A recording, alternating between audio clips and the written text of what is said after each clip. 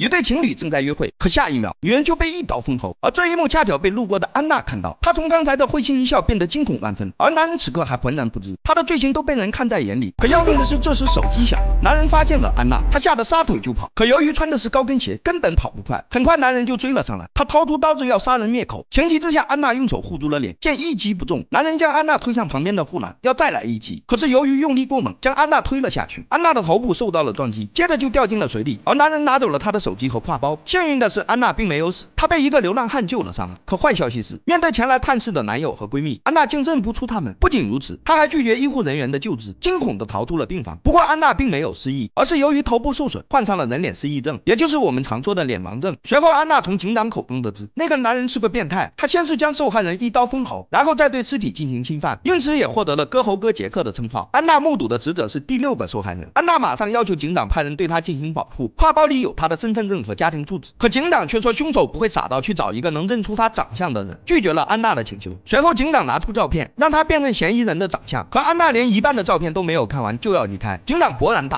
指责他毫无公德心，但警长还不知道。现在就算凶手站在安娜面前，他也认不出凶手的脸。男友让警长去问下医生，就知道是怎么回事了。安娜回到学校，尝试恢复正常的生活。恍惚间，安娜觉得窗外有人在跟踪她，可一转眼的功夫，窗外的男人就消失不见了。鉴于安娜现在的情况，校长让她先休养一段时间。可就在她坐地铁回家的路上，那个挎包却失而复得。她明白那个变态一定在跟踪自己，她马上打电话给警长寻求帮助。可安娜还不知道，那个救她的流浪汉也被人一刀封喉。从作案手法。伤害，应该也是割喉哥的杰作。而在犯罪现场的警长接到了安娜的电话，安娜将情况告诉了警长，警长让他待在车厢等待救援。可就在这时，警长的手机没电了，而安娜发现了在学校跟踪她的男人，男人似乎也在寻找安娜，他想躲到下一节车厢，可还是被男人发现了。就这样，安娜在前面跑，男人在后面追，眼看男人就要抓到他，安娜一把拉停地铁，赶来的警察将男人制服。可男人并不是凶手，而是前来看望安娜的父亲。不过事情远没有结束，安娜深陷崩溃的边缘，经常被噩梦惊醒，她独自。程度的一切，在男友面前，她极力表现的像个没事人一样。可在男友走后，她马上拿出纸笔，拼命的记录着什么。原来安娜画下了男友的领带，她通过领带的颜色和条数来判定哪个是男友。随着安娜在人群中叫出了男友的名字，男友高兴的不行，他以为安娜恢复了正常，因为他终于不用忍受在亲吻安娜的时候，忍受她的一脸惊恐，这让安娜有些无语。可男友现在是她唯一的依靠，但事情却在安娜生日这天发生了意外，他将一个打着同款领带的人当成了男友，而这一幕也被男友看到，他发现了。安娜的秘密，愤然要和安娜分手，而冒充者正是那个变态。他给安娜打电话，让她猜猜哪个才是真正的他。看着安娜惊恐的样子，变态越发兴奋。他威胁要杀死安娜的闺蜜，果然下一秒闺蜜就惨死在安娜面前。随后，警长带人封锁了酒吧。这次厕所里发出了异响，警察们都严阵以待，要抓现行。可从厕所里走出来的竟是警长的得力助手。同事们一看是自己人，都放下了手里的枪。助手还不忘开玩笑的说自己就是凶手。同事们懒得搭理他，但助手却叫住了警长。他发现了重要的线索，一条带血。的领带。随后，警长将安娜送回了家。他们从男友的衣服里发现了安娜之前丢掉的手机。闺蜜被杀前，凶手就是用这部手机给安娜打的电话。现在，所有的线索都指向了安娜的男友，但男友却不知所踪。警长马上打电话给助手，让他检测领带上血渍的 DNA 是否与安娜男友的一致。助手告诉他，这需要几天时间。在此期间，为了保证安娜的安全，警长将她带到了城外的一处孤岛，这里风景宜人，人数不多，每个人都亲切的和警长打着招呼，妥妥的世外桃源。不过，警长有他自己的私心，那就是他爱上了安娜，当晚两人就发生了肌肤之亲。第二天，警长刮了胡子，他想展示最好的一面给安娜。可当他叫醒安娜的时候，安娜惊恐万分，直接砸爆了他的头。原来安娜之前说的警长是他出事后第一个认出的脸，都是骗人的。他是靠着警长的胡子才认出他的。这时助手告诉警长，DNA 配对不符，前男友不是凶手。不过警长对报仇的事并不介意，还说如果下次安娜再做噩梦的话，就不管他了。梦，安娜意识到自己可以在梦里辨认凶手的脸。随后两人找到催眠师，安娜在梦境里认出。出了凶手的脸，他告诉警长，凶手就在上次指认的六个嫌疑人之中。警长马上安排了抓捕，可助手却告诉他，DNA 配对五个都不是凶手。警长让安娜在家里等他。这一切结束后，他就带着安娜去那个孤岛。就在他对最后一个嫌疑人进行抓捕的同时，安娜接到了前男友的短信，他想再约安娜见一面。前男友的领带还是打得依旧难看，一见面前男友就要求和安娜复合，可安娜却拒绝了他。前男友很郁闷啊，说不是你约我见面的吗？为了避免尴尬，前男友借机去了洗手间。安娜马上拿起枪。前男友的电话上面的信息果然和他的一样，安娜意识到了不对，她马上给警长打电话，可警长的电话落车里了，她自己也在找手机，而前男友此时已经命丧黄泉，真凶扒下他的衣服穿在自己身上，此刻安娜还不知道眼前坐的正是凶手，她让前男友赶紧离开这里，这一切都是个陷阱。可当他们走出餐厅的时候，安娜却发现前男友的领带居然打得整整齐齐，她马上意识到这不是真正的前男友。随着两人越走越偏僻，安娜急中生智，让凶手吻她，而安娜趁机拿出防狼喷雾喷在对方的脸上，然后。拼命的逃跑，此时最后一名犯人也排除了嫌疑，后面的犯人向警长借火，而这时他也发现了安娜给他的留言，警长马上掉头向安娜赶去。这时犯人向警长表达了谢意，说在指认室的那个混蛋就不让他抽烟。指认是一时间所有的细节都浮现在警长的脑海里。当时安娜指认嫌疑人的时候，助手也在里面，而安娜说凶手也在里面。那六名嫌犯既然不是凶手，唯一的可能就是助手了。还有他要去找流浪汉的事情，只告诉过助手。这么一想，所有的事情都说得通了。这时助手脱下外套，露出里面的。警服，警长也及时赶到，两人都让对方放下手里的枪，而安娜则逃向了之前落水的大桥。两人最终将触手绳之以法，但警长也因此丢了性命。故事的最后，安娜独自一人来到了那个孤岛，并在这里定居了下来。她重新做起了老师，并有了自己的孩子。她正在一步一步的向前，只是会有那么一瞬间，她好像又看见了警长。